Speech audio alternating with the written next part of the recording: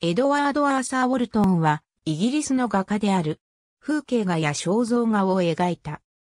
スコットランド、イーストレンフルーシャーのバーヘッドに生まれた。父親は町役人で画家、写真家としても知られていた。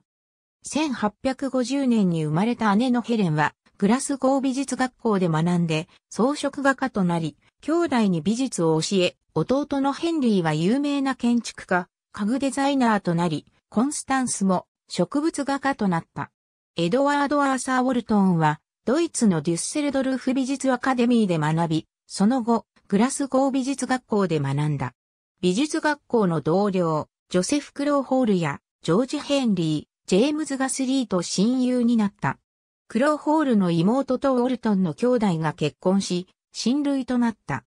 1894年までグラスゴーに住み、ウォルトンらはイギリスで活動していた、ジェームズ・マクニール・ホイッスラーを尊敬し、グラスゴーボーイズと呼ばれる若い画家の集団で活動した。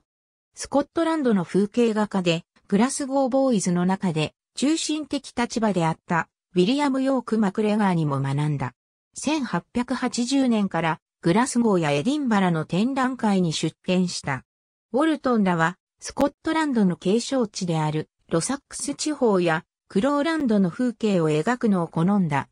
1883年にスコティッシュボーダーズのコーバーンズパスという村に家を建てたガスリーとその地域を描いた。その年、ヘレンズバラの海岸地域の人々を描いた一連の水彩画も描き、評価を高めた。多くの肖像画の注文も得られるようになった。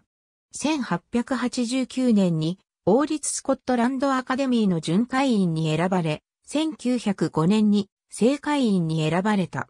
1894年から1904年まで、ロンドンのホイッスラーやジョン・レイバリらの近くで暮らした。ロンドン時代は近郊のサフォークで夏を過ごし、その風景を描いた。1907年にはガスリーとアルジェリア、スペインを旅した。1915年に王立スコットランド水彩画協会の会長に任じられた。1889年に画家のヘレン・ローヘンダーソンと結婚し、息子のジョン・ウォルトンはグラスゴー大学の植物学の近定教授を務めた。娘のセシルと共に象徴主義の画家として知られる。ありがとうございます。